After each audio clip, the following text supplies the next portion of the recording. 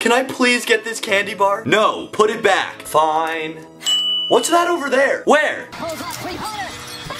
You missed it. Aww.